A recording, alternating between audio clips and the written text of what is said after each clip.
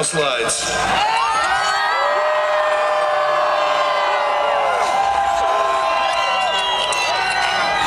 How the fuck are you doing, El Paso?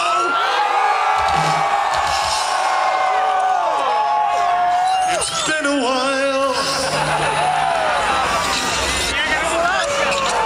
I heard a rumor that we have a new album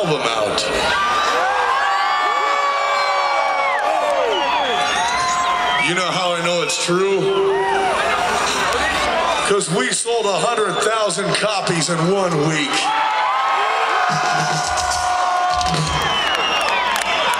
We outsold Lil Wayne.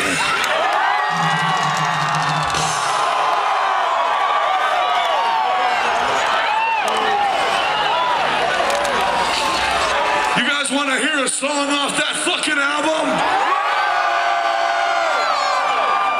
Because last time I checked, we are all American.